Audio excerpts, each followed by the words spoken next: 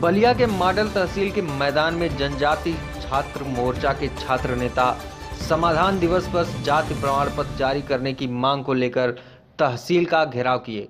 जनजाति छात्रों ने दावा किया कि बलिया तहसील में राष्ट्रपति का आदेश नहीं माना जाता है और जिला प्रशासन हीला हवाली कर जनजाति छात्रों से भेदभाव कर रही है, जिसके चलते जाति प्रमाण पत्र जारी नहीं किया जा रहा है। प्रधानमंत्री से लेकर मुख्यमंत्री आदिवासी समुदाय को न्याय से लेकर सभी सुविधा मुहैया कराने की बात करते हैं। पर बलिया के जनजाति छात्रों का उग्र रूप देखकर सरकार के रवैये और सुविधाओं का अंदाज़ा लगाया जा सकता है। उत्तर प्रदेश पुलिस भर्ती के आवेदन से वंचित ये जनजाति छात्र अपना आपा खोते नज़र आ रहे हैं। ऐसे में जिला प्रशासन कितना संजीदा है ये देखने वाली बात होगी। करता हूँ आई हैं, और आप अभी संविधान के अनुसार ही कुर्सी पर बैठे हैं, और हम लोगों को संविधान ने ही अधिकार दिया है, और हम अपने संवैधानिक अधिकारों की रक्षा के लिए बैठे आप सोच सकते हैं 22 तारीख तक पुलिस भर्ती की लास्ट डेट है, और आज 20 तारीख हो गया, और एडीएम साहब ने आदेश किया है कि लेखपाल तीन दिन में निस्तारण करेंगे। आज संविधान दिवस पे क्या हुआ? संविधान दिवस पर हम लोग यहाँ पर ज्ञापन दिए और यहाँ पे लड़के बैठे भी आप देख सकते हैं। तो क्या समाधान हुआ आप लोग समाधान कुछ नहीं हुआ।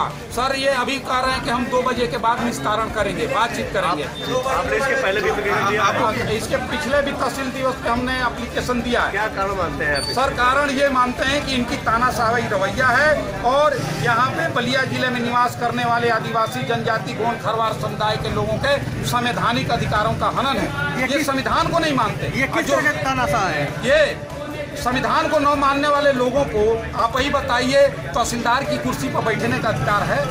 प्रमाण पत्र तहसीलदार जारी करते हैं। तहसीलदार का नाम क्या है? आपके जितेंद्र सिंह। जितेंद्र सिंह जी तहसीलदार।